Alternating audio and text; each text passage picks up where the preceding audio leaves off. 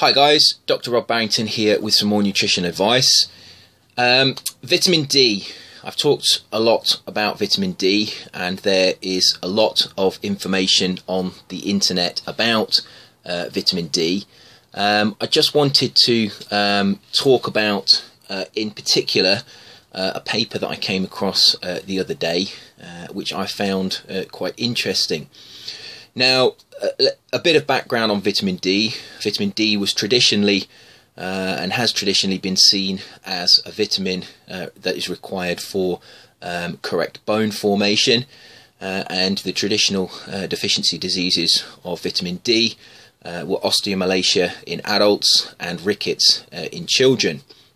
up until recently, the recommended intake of vitamin D uh, for adults was really based on some very old papers uh, that actually looked at uh, preventing rickets in children. Uh, and these intakes were actually very low, and even the current recommended uh, amounts of vitamin D uh, are still based on these old old studies using the traditional viewpoint that vitamin D is required only for bone formation. Uh, and these levels will prevent rickets and osteomalacia.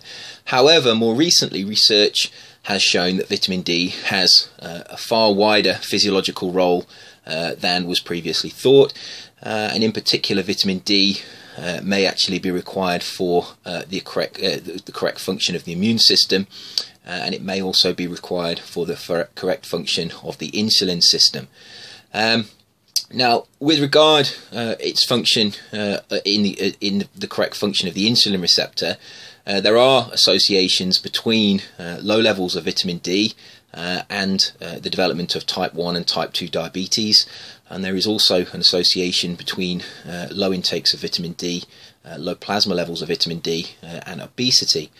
Um, now, the biologically accepted marker of vitamin D is a compound called 2,5-hydroxyvitamin D.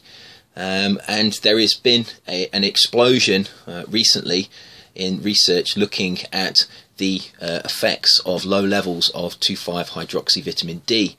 Uh, and in particular, uh, there has been uh, a lot of studies that have shown uh, that vitamin D, uh, if your plasma levels of vitamin D are higher, you have a lower risk of developing cancer, a lower risk of developing uh, obesity, a lower risk of developing uh, cardiovascular disease.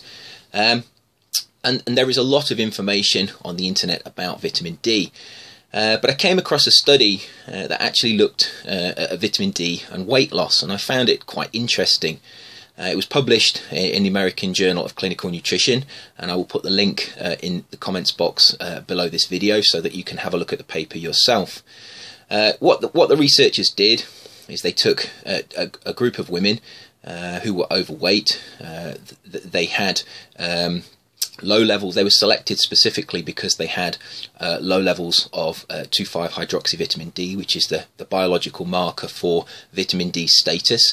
Uh, and their plasma levels were actually between 10 uh, and 32 nanograms uh, per, uh, per mil. and that means that they were actually insufficient, borderline deficient in vitamin D. Now, uh, what they did is they split the, the women into two groups, uh, and one group received a, a 2000 IU supplement of vitamin D, and the other group received a placebo. So, and this was double blind controlled, so that n- not even the researchers knew who was getting uh, uh which tablet. Um, and then the women underwent a, a, a weight loss program that, that tried to, to get them to lose about 10% of their body weight. Uh, and this was done over the course of one year. Now, when the researchers analysed the results, what they found was that there was no difference between the group that was given the vitamin D supplement and the group that was given the placebo. Um, and if they had have uh, analysed the results no further, this study could have been used uh, as evidence to show that the vitamin D supplements had no effect. However, they did uh, a further analysis on the data and they actually regrouped the women. And what they did is they regrouped the women into those women who had had an increase in their plasma levels of vitamin D and those uh, uh, women who had not had an increase in their plasma levels of vitamin D. Uh, and they did this through measurements of the 2,5-hydroxyvitamin D marker in the plasma. When they did this, what they found is that those women who responded to the vitamin D supplements with an increase in their plasma levels of 2,5 hydroxyvitamin D actually had a statistically significant increased uh, weight loss compared to those women who had had no uh, no such increase. Um, now, the difference between the two groups was those groups of women who had a, a large increase in their vitamin D plasma levels uh, lost 8.8 kilograms of uh, body weight, uh, and those people uh, who, uh, those women who didn't have an increase in their plasma levels of vitamin D, uh, only lost 5.5 kilograms. And when they also analysed the waist circumference and other measures of um, obesity or over, being overweight, such as body fat, they also found there was a significant decrease uh, in the treatment group, uh, the, the, sorry, in the group that uh, experienced an increase in their plasma levels of vitamin D, compared to the group uh, that didn't uh, experience uh, that that that increase. Now, this is very interesting because. Firstly, it shows that taking a supplement is not the whole story. If you take a supplement of vitamin D, for it to be effective, it has to increase your levels of uh, 2,5 hydroxyvitamin D. Uh, and that means that you have to tailor the supplement uh, quantity that you take to your own particular biochemistry in order to cause that effect. Um, clearly, some of the women uh, took the supplement um, and did not experience an increase in their plasma levels. Uh, alternatively, some of the women may not actually have taken uh, the, the, supplement, and this leads to another interesting point about this study, uh, in that compliance of subjects is often poor. Uh, now, what the researchers did quite cleverly is that they gave the, the, the, the women a certain number of tablets uh, and then they counted the tablets uh, in the pot when they returned uh, the supplements at the end of the study. And they could count the supplements uh, left. Uh, usually, what the researchers do is they give you more tablets than you need, a random amount more. they then count the supplements at the end of the study without telling the subjects so that they can assess if there's been compliance between the subjects and the protocol that they've been given. Uh, and, and, what they found was that those uh, those women who uh, more closely followed the supplement uh, uh, protocol that was laid out for them, in other words, those women who actually took the vitamin D tablets, actually showed reductions in their plasma levels of a protein called C-reactive protein, uh, which is a marker of inflammation. Um, so this is very interesting because uh, it, it, leads to questions about uh, the validity. Of a lot of research that doesn't uh, doesn't use these rigorous control mechanisms in their methodology. Um, taking a supplement is not enough. You have to increase your plasma levels. It has to get into the body. Remember, what you put in your mouth is not in your body. Your gut is a, an inside out skin. Until that substance is absorbed to your body, it can't actually have a, a biological effect. Uh, and this is highlighted in this study.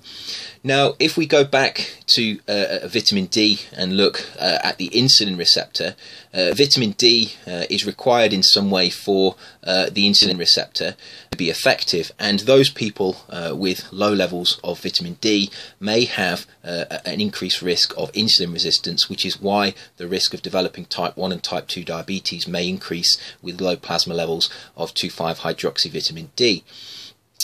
Now, this is very interesting in relation to this study because those women who increased their vitamin D levels lost more weight, uh, and therefore that would indicate that all of these women uh, at the start of the study uh, were vitamin D deficient, and this may have been contributing to their weight gain.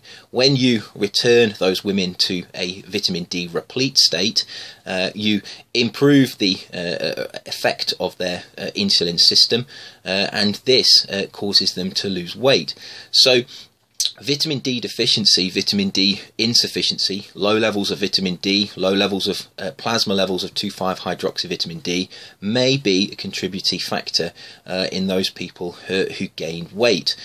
Um, so the take-home message from this, uh, although this is very interesting, the, the practical take-home message from this is that if you're not already taking a vitamin D supplement and that you're living uh, in northern latitudes, uh, in in areas where there is very weak uh, a very weak sun.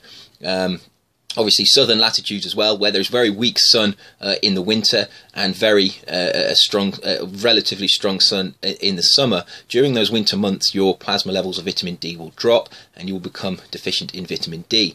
Now, many people don't uh, go out uh, in the sun enough in the summer anyway, because we've been told that the sun's bad for us, or we work too hard, or we work in buildings, and therefore we don't have time to go out.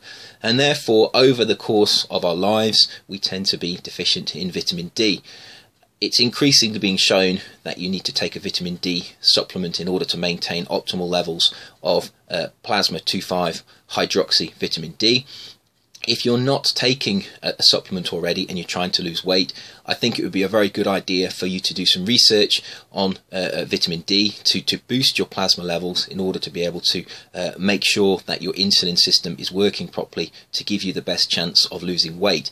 If you are vitamin D deficient and you're trying to lose weight, this study shows uh, that you may well lose weight uh, following the similar protocol uh, of weight loss that these women followed for a year. They lost weight by performing aerobic exercise and by also changing their diet. Um, however, um, you're not going to lose as much weight as you could do. It's going to be less efficient. Uh, remember, the, the women who actually boosted their plasma levels of 2,5 hydroxy vitamin D uh, actually uh, lost 8.8 kilograms, whereas those women who didn't only lost 5.5. So ask yourself after a year, would I rather lose 8.8 kilograms or would I rather lose 5.5 kilograms? Uh, if you'd rather lose 8.8, you really need to look at your vitamin D levels, and that means you need to take a vitamin D supplement because vitamin D just is not in high enough concentrations in the foods that we commonly eat, uh, and therefore, uh, if we don't have access to the sun, which is uh, true at high latitudes, both north and south of the equator, if we don't have access to the sun during the winter, we simply cannot maintain our vitamin D levels uh, at optimal levels. So the take-home message message from this is that if you're trying to lose weight, uh, make sure you optimize your plasma vitamin D levels. Otherwise, you may find uh, that your weight loss efforts are inefficient.